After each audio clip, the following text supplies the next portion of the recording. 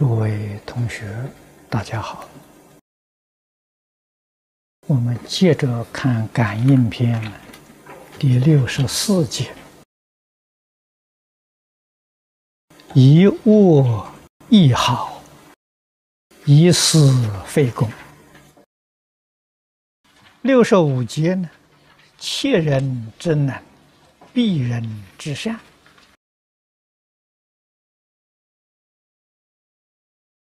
我们看这个两段。啊，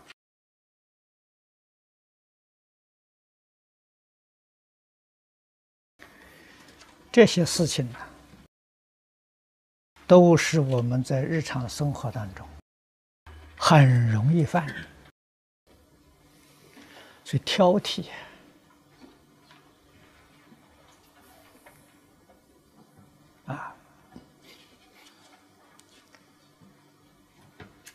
无论在什么样的场合，在什么样的环境当中，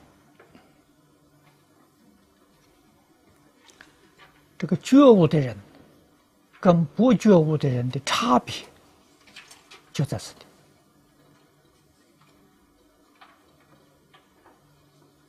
地。啊，觉悟的人是为众生。活在这个世界，迷惑的人呢，是为自己利益活在这个世界，为自己利益活在这个世间，当然，他要受轮回果报啊。所以善有善报，恶有恶报啊。六道轮回是他的家。如果为众生活着的，一切为众生呢？六道跟他就不相干了，所以迷的人，无论在什么环境当中，遇到好的，总是要自己占有，啊，把次一等的不好的推给别人。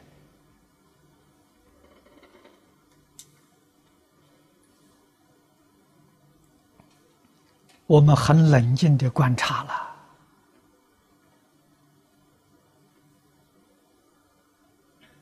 就能看到啊，看到之后回头想一想，我们自己处事待人接物又如何呢？啊，有没有犯这犯这个恶呢？所以。冷静想一想啊，自己就明白了。我们是轮回中人，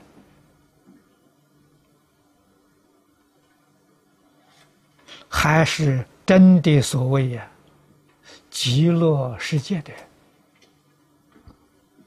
如果真的是极乐世界的人，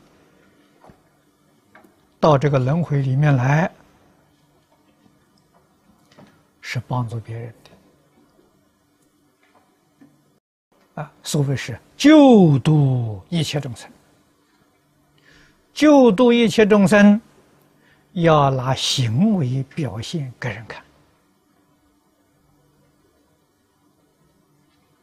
啊，世间人谈爱，我们是谁？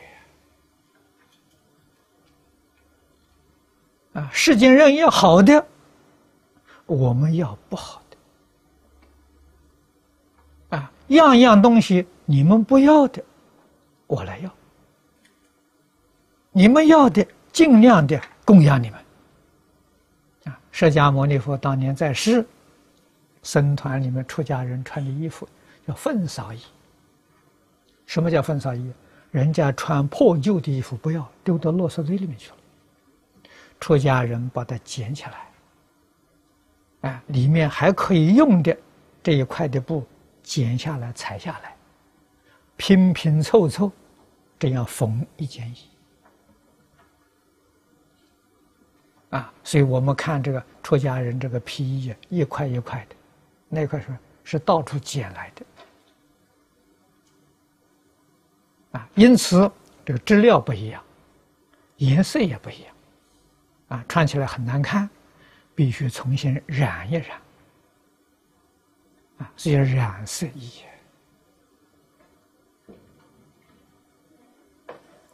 这是世尊啊，佛菩萨做了榜样给我们看，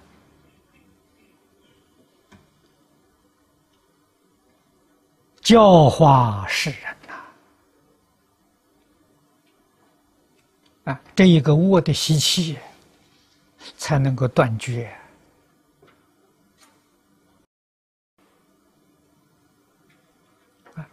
以私废公。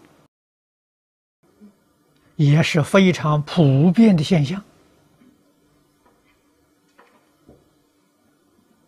啊，有一点地位，有一点权势，就尽量在利用啊，利用自己的权势啊，求取自己的利益啊，贿赂。不错，是人家送来的啊！接受贿赂，在佛法里面盗戒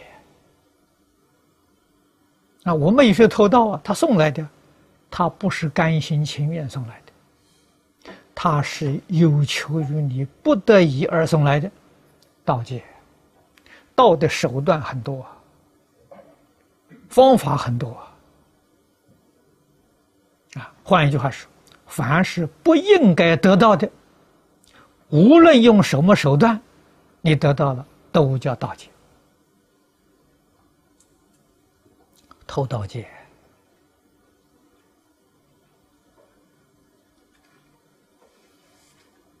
啊，以私费公，一握一号，要看这个事情的大小。影响面广狭，影响的时间长短来解罪。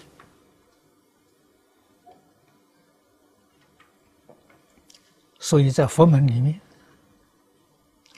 前面我们曾经读到永色方书啊，我跟诸位报告过。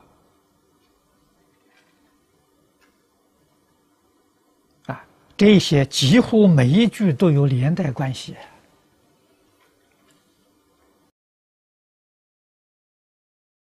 像我们现在流通佛法啊，无论是流通经书、流通录像带，我们以这个做例子啊，这些事情。大众委托你去办了，这涉及到钱财呀。你如果偷工减料，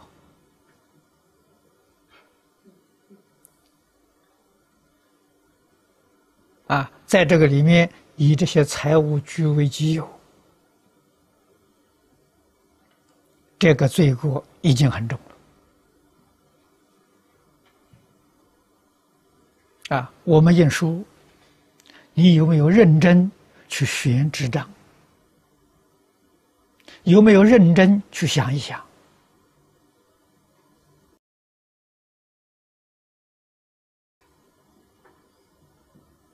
考量有很多方面。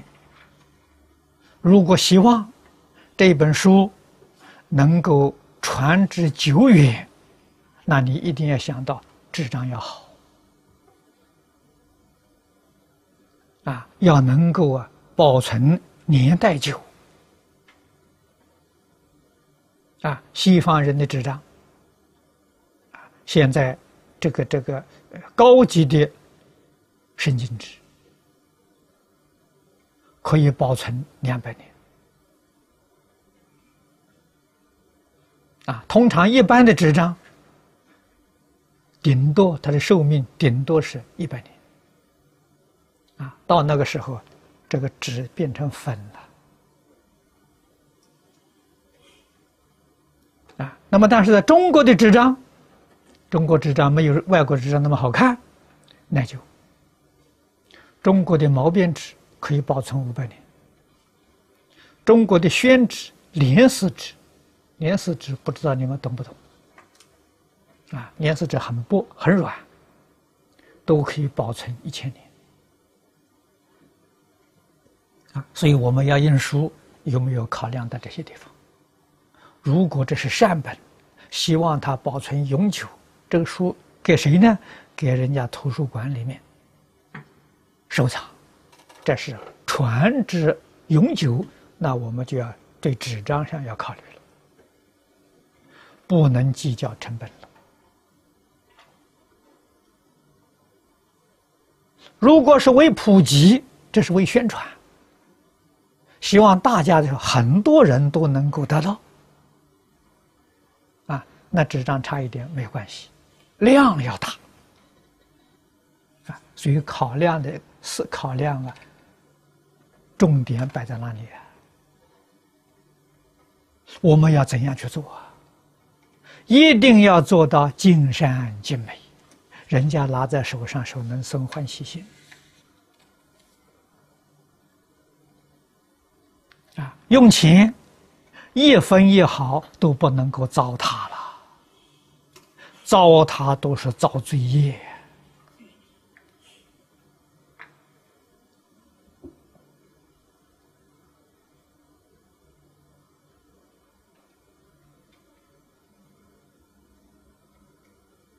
嗯，啊，所以公司要分辨得很清楚。啊，佛祖不但教我们要修福，最重要的要惜福。啊，这个世间知道修福的人有，知道惜福的人。太少太少，啊，可以说在开发中的国家，懂得惜福的越来越少了。啊，未开发的那些地区，懂得惜福的人还很还多。啊，为什么呢？物质非常缺乏，所以对于物力呀，还能够爱惜。啊，这些道理呀，我们要懂啊。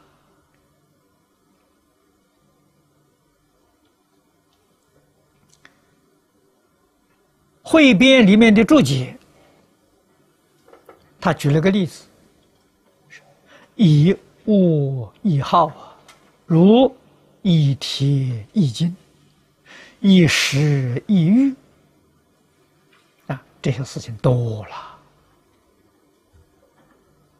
啊，那么尤其现在的商场，这个还没有什么了。啊，把铁镀成金，当做金子骗人；把石头啊当做玉骗人。啊，人家欢喜买玉的，骗他也无所谓嘛，反正他有钱。啊，可是最。造业最深重的，是造些假药，这个罪过重。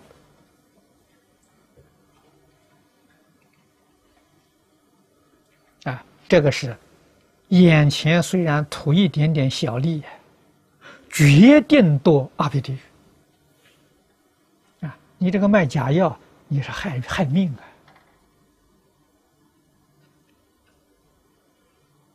这个罪过大了。凡是与众生、百姓生计的这一方面呢，你要是以物以好啊，这个罪就特别要重啊，因为它是生活所必须的，生命所依靠的。啊，修德都要从这个地方来做功夫啊。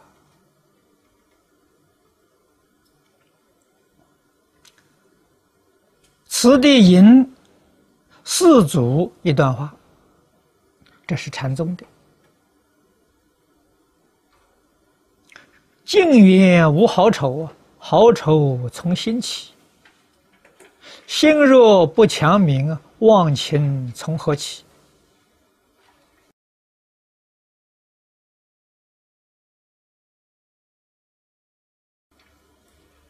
啊，佛法修的是什么？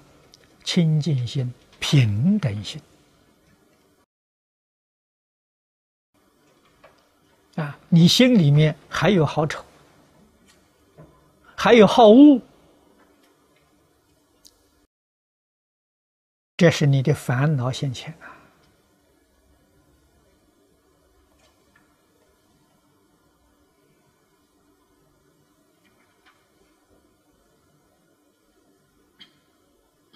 自己一定要觉悟啊！这在造业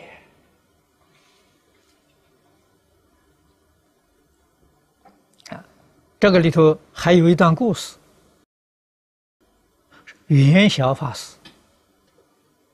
啊，这是韩国的一位高僧，唐朝时候人。啊，这也是净土宗的大德。啊，他到中国来，寻思访友啊，吃了不少苦头啊。啊，夜晚睡在郊外。坟地啊，半夜渴的时候没有水喝，啊，在看到坐在旁边的时候呢，有水，啊，他就来把这个水啊捧出来喝。到第二天早晨呢，天亮的时候起来一看呢，这是死尸留下的留下的水。啊，他这个是一看到这个样的，心里就觉得恶心了，然后就豁然大悟了。三界为心，万法为识，美恶自我，何关水乎？啊，他喝的时候不晓得，啊，以为是泉水，啊，喝的非常舒服舒服啊。在第二天早晨一看呢，不对，是死尸就流，泡在水水里头。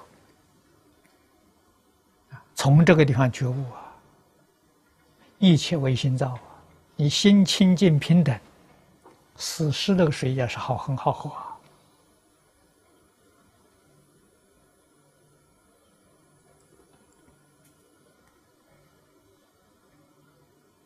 啊，所以以私非公啊。完全顾虑到自己的利益、自己的方便，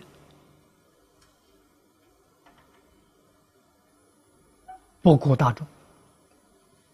啊，自己多一分方便，大众就受一分损害。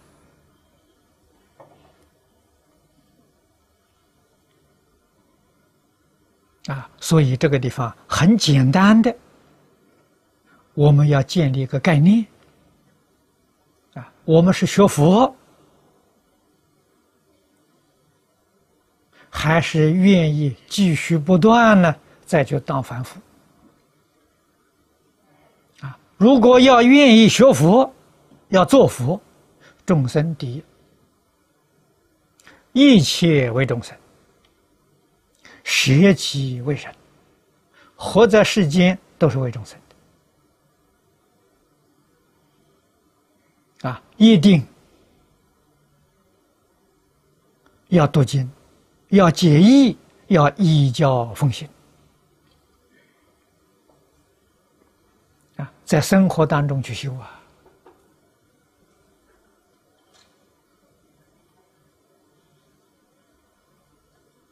离开生活，没有地方修行了。修行。就是说，我们对一切人、对一切事、对一切物，把我们错误的想法、看法、做法修正过来，叫修行啊！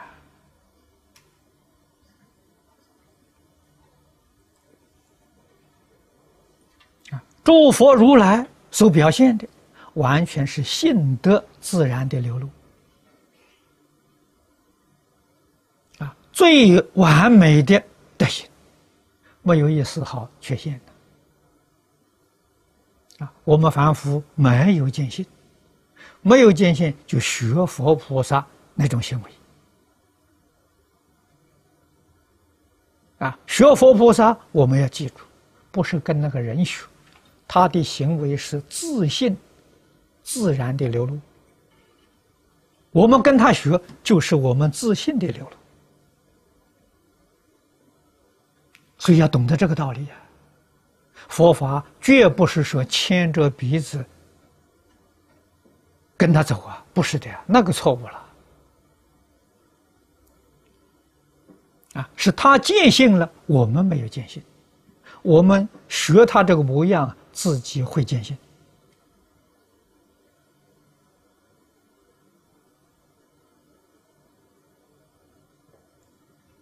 所以一定要放下自己的成见，放下自己的见解，放下自己的想法看法，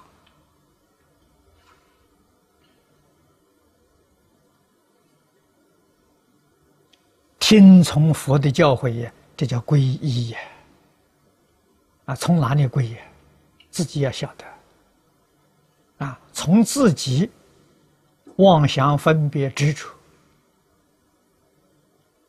啊，从自己错误的想法看法回过头来皈依，依佛菩萨的教诲。啊，我们初学佛，没有见性，一定要用这个方法。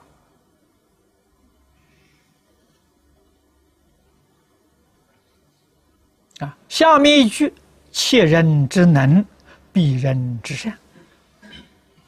窃是偷窃，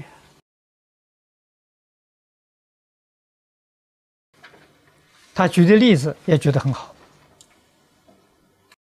啊，譬如窃人之文，以为己作，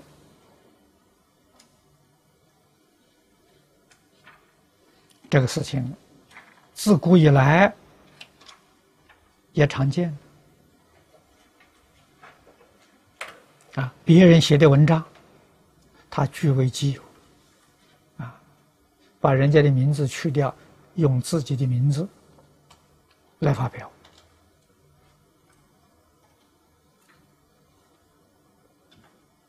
啊，人家辛辛苦苦经多少年研究的，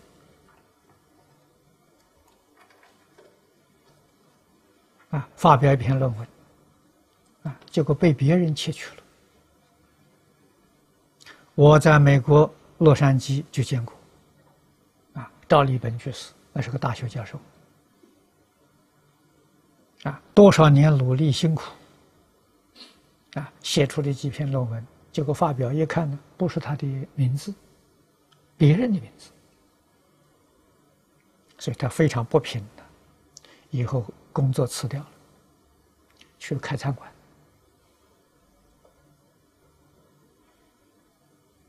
啊，他把这事情告诉我。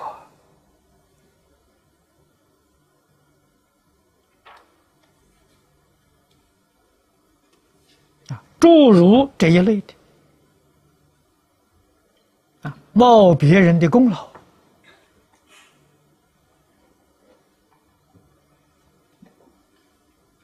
古今中外，我们在历史上都看到啊。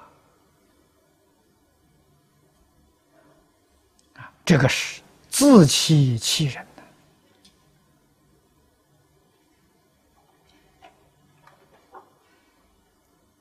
我们仔细观察，看看他有没有好的结果。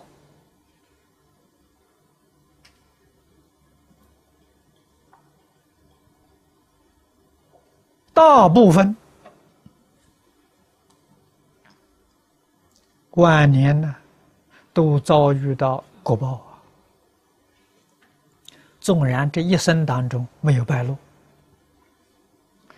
感应篇》里面讲的好啊，天地鬼神，你能够瞒得过人，瞒不了天地鬼神呐。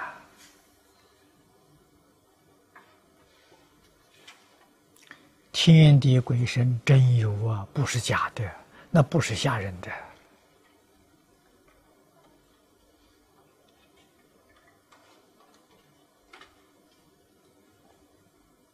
这些道理事实，我们都要懂得。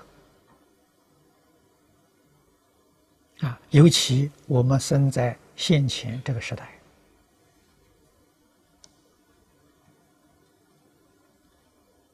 啊，诸位只要冷静观察，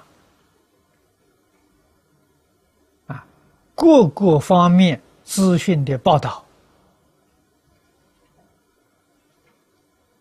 我们就明了，我们现在处的是一个什么样的时代？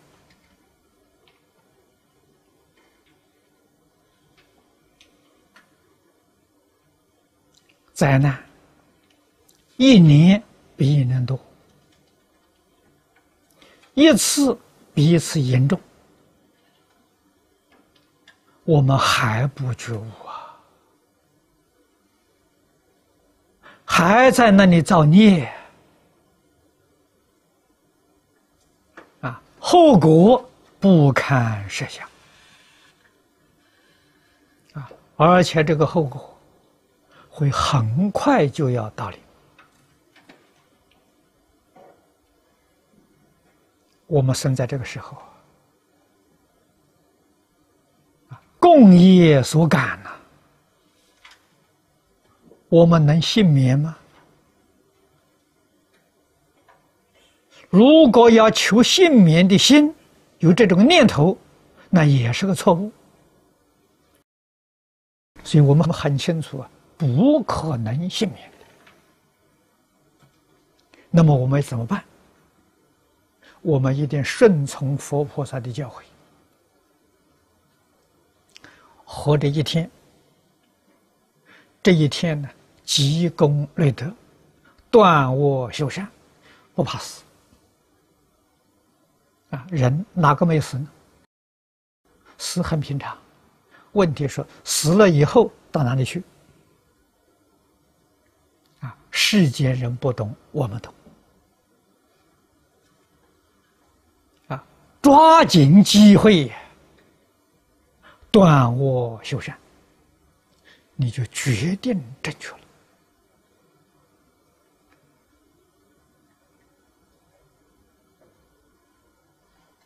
啊，什么是善，什么是恶，要搞清楚。利益社会、利益众生的是善，利益自己的是恶。啊，一定要把它搞清楚。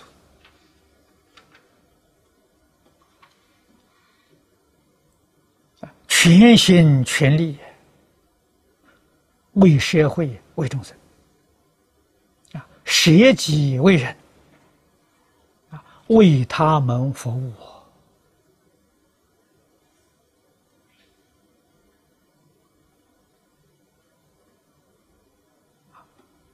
你诚心诚意为他服务，他未必感谢你。可是我们知道，应该要做的一定要做，我们并不求人家感激。只把我们自己本分的事情做好，啊，我们本分事情就是舍己为人，为众生服务。这服务里面最重要的一个项目，帮助别人觉悟，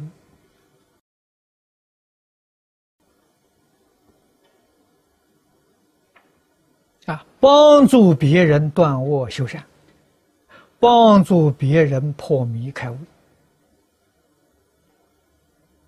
我们能这样做，这是真正佛弟子、真正的菩萨道了。